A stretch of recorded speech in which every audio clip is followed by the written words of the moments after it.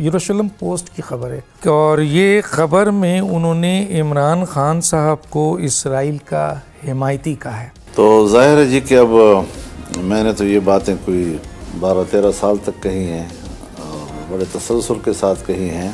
اور اب جو خبریں سامنے آ رہی ہیں، اب کچھ ڈیوٹی تو آپ کی بھی ہے نا کہ آپ آئندہ اس پہ تبصرہ کرتے رہیں اور اپنے خیالات کا اظہار کرتے رہیں۔ تو آپ کے موقف میں تو عمران خان کے اس بیانات کے حوالے سے کوئی تبدیلی تو نہیں آئی ہے سر؟ دیکھیے، اس حوالے سے میں عرض کروں یہ تو میری جماعت کا فیصلہ تھا کہ ہم نے اپوزیشن میں بیٹھنا۔ اب ظاہر ہے کہ ہم نے سات آٹھ سیٹوں کے ساتھ اپوزیشن میں بیٹھنا تھا، جبکہ opposition بینچوں per P T I کوئی ستر اسی نوے سیٹوں پہ بیٹھی ہوئی تھی۔ اب یہ تو ممکن نہیں ہے ہمارے لیے کہ ہم حکومت کے خلاف بھی اپوزیشن کریں اور اپوزیشن کے خلاف بھی اپوزیشن کریں۔ تو یقیناً ہم نے ایک دوستانہ ماحول بنانے میں کردار ادا کیا اور دونوں نے کیا انہوں نے بھی کیا، ہم نے بھی کیا۔ اور اب ہم اس پوزیشن پہ آ گئے ہیں کہ ہم ایک دوسرے کے ساتھ دوستانہ ماحول میں مذاکرات کر سکتے ہیں اور بات چیت۔ بسم اللہ الرحمن الرحیم۔ ناظرین ایک بار پھر سے عمران خان کو یہودی ایجنٹ کہا جانا شروع کر دیا گیا ہے۔ مولانا فرمان نے پھر سے عمران خان کو یہودی ایجنٹ کہہ دیا ہے۔ اسرائیلی اخبار نے ایک دعویٰ کیا کہ اسرائیل کو عمران خان کی حمایت حاصل تھی، جس کے بعد جب مولانا فرمان سے ایک انٹرویو کے دوران سوال پوچھا گیا، تو آپ جواب سن چکے ہیں کہ مولانا فرمان نے کہا کہ میں یہ باتیں کئی سالوں سے کر رہا ہوں۔ اور جب ان سے پوچھا گیا کہ کیا آپ آج بھی اپنے موقف پہ اپنی کہی گئی بات کے اوپر قائم ہیں، تو مولانا فرمان کا کہنا تھا کہ میں اپنی بات پہ قائم ہوں۔ پاکستان تحریک انصاف اور ہمارے درمیان جو اختلافات ہیں وہ ایک دیوار ایک چادر کی طرح نہیں بلکہ ایک پہاڑ کی مانند ہیں۔ مولانا فرمان نے جو گفتگو کی وہ گفتگو آپ سن چکے ہیں۔ اس کے اوپر عمران خان کا اپنا کیا کہنا تھا؟ جب ان سے سوال کیا گیا اسرائیل کے بارے میں تو عمران خان نے کیا جواب دیا تھا؟ پہلے ہم آپ کو یہ گفتگو سناتے ہیں۔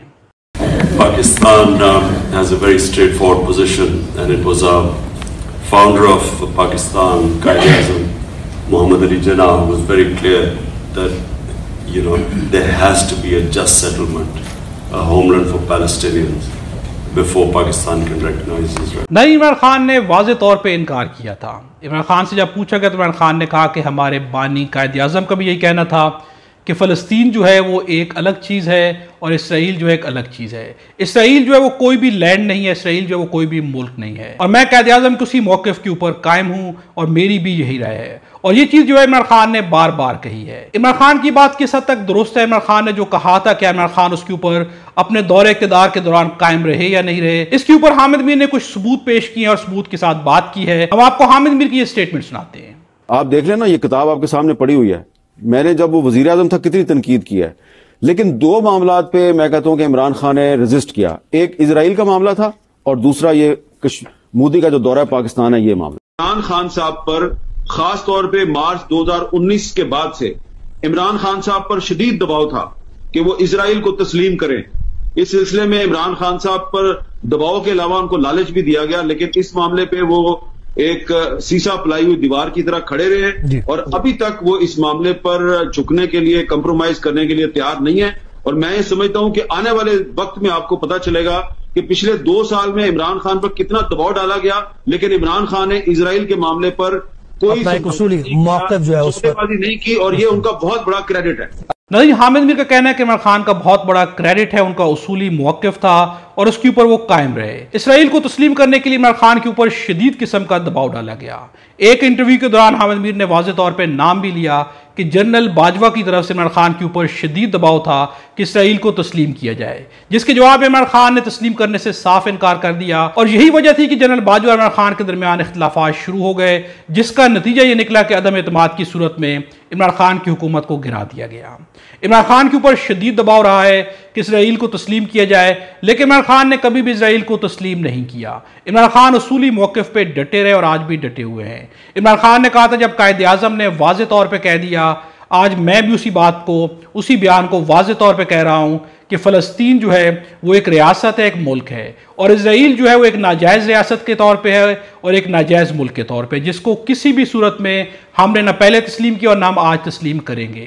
عمران خان کا جو بھی اصولی موقف تھا، اس کے اوپر ڈٹے رہے۔ لیکن بہت افسوس کی بات ہے کہ مولانا سلیمان جو کچھ دن پہلے تک آئینی ترامیم کے معاملے کے اوپر ڈٹ گئے تھے، پاکستان تحریک انصاف کے ساتھ کھڑے ہو گئے تھے۔ عوامی رائے کو انہوں نے جو ہے سب سے زیادہ پریفر کیا تھا۔ آج پھر انہوں نے سیاست کر کے دکھا دیا ہے۔ آج جب انہیں دوبارہ سے موقع ملا تو اپنے اپنے موقف کے اوپر دوبارہ سے ڈٹ گئے کہ عمران خان جو ہے وہ اسرائیلی ایجنٹ ہے۔ اس سے پہلے بھی وہ یہ بات کہتے رہے لیکن ان کے پاس کا کوئی بھی ثبوت نہیں ہے۔ عمران خان کی اپنی گفتگو کو سامنے رکھا جائے حامد میر کی گفتگو کو سامنے رکھا جائے۔ جس طرح کے حالات بنے عمران خان کو حکومت سے ہاتھ دھونا پڑے۔ کیا عمران خان سمجھوتا نہیں کر سکتے تھے؟ کیا عمران خان نواز شریف اور زرداری کی طرح حکومت نہیں بچا سکتے تھے؟ تو شاید عمران خان کے لیے یہ آپشن زیادہ ایزی تھی۔ لیکن عمران خان کا اصولی موقف تھا۔ جس کے اوپر ڈٹ کے انہوں نے اقتدار کو قربان کرنا تو زیادہ آسان سمجھا، لیکن اپنے موقف سے ہٹنا ان کے لیے انتہائی مشکل تھا۔ آج جیل میں بھی عمران خان کے اوپر دباؤ ہے کہ آپ ڈیل کر لیں تو آپ کو آزاد کر دیا جائے گا۔ لیکن عمران خان جیل میں بیٹھنا پسند کر رہے ہیں، لیکن کسی بھی قسم کی ڈیل کرنے کو آج بھی تیار نہیں ہے عمران خان کا اصولی موقف ہی ہے، جس کی وجہ سے آج عوام ان کے ساتھ کھڑی ہے۔ اسلام آباد کی جلسہ کو دیکھ لیا جائے، لاہور کے جلسہ کو دیکھ لیا جائے۔ عوام کی ایک بہت بڑی تعداد جس طرح سے گھروں سے نکلی ہے اور ایک مشن سمجھتے ہوئے نکلی ہے، ایک بہت بڑا انقلاب سمجھتے ہوئے نکلی ہے۔ عوام نے ہمیشہ ثابت کیا ہے کہ عمران خان کا اصولی موقف اتنی بڑی طاقت ہے کہ جس کی پیچھے عوام اپنے گھروں سے کسی بھی صورت میں کسی بھی مشکل حالات کے اندر باہر نکلنے کو تیار ہے۔ عمران خان کی پاپولیٹی میں جس قدر اضافہ ہو رہا ہے، اس سے بڑی بڑی طاقتیں ڈرنا شروع ہو چکی ہیں۔ اگر بڑی بڑی طاقتوں کے ریسنٹ بیانات کو دیکھا جائے تو وہ بہت ہی زیادہ خوف میں مبتلا نظر آتی ہیں۔ عمران خان نے عوام کو نہ صرف شعور دیا ہے، بلکہ عمران خان نے عوام کے اندر ایک ایسی طاقت بری ہے کہ جس کو کہتے ہیں انقلاب کی طاقت۔ آج پاکستان کی عوام ایک انقلابی عوام بننا شروع ہو چکی ہے اور اس کی واضح دلیل ہے لاہور کا جلسہ، جس میں عوام کی ایک بہت بڑی تعداد نے عملی طور پہ شرکت کر کے ثابت کر دیا ہے کہ نہ تو عمران خان جو ہے اسرائیل کے ایجنٹ ہیں، نہ عمران خان جو ہے ریاست کے مخالف ہیں اور نہ ہی عمران خان جو ہے عوام اور ملک کے دشمن ہیں۔ اپنی رائے کا اظہار کمنٹس میں ضرور کیجیے گا۔ اگر ویڈیو اچھی لگے تو لائک بھی ضرور کیجیے گا۔ خدا ہم سب کو اور ہمارے وطن پاکستان کو اپنی زمان میں رکھے۔